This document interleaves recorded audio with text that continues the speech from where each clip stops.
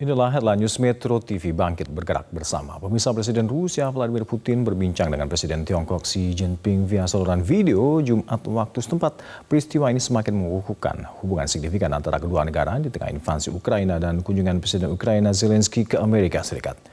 Dalam perbincangan ini, pemirsa Putin ingin memperkuat kerjasama antar armada senjata Rusia dan Tiongkok. Putin juga memuji kiprah Rusia dan Tiongkok dalam menangkal pengaruh provokasi dan tekanan sekutu barat di dunia. Hubungan Rusia dan Tiongkok menguat secara signifikan dalam beberapa bulan terakhir setelah kedua negara menyetujui kemitraan strategis tanpa batas awal tahun ini. Sebagai bagian dari fakta strategis, Rusia juga menyuarakan dukungan untuk klaim teritorial Tiongkok atas Taiwan. Putin juga mengharapkan Xi Jinping melakukan kunjungan kenegaraan ke Moskow pada musim semi mendatang. Bila ini terjadi, peristiwa ini semakin mengukuhkan hubungan mereka di tengah invasi Ukraina dan kunjungan Presiden Ukraina Zelensky ke Amerika.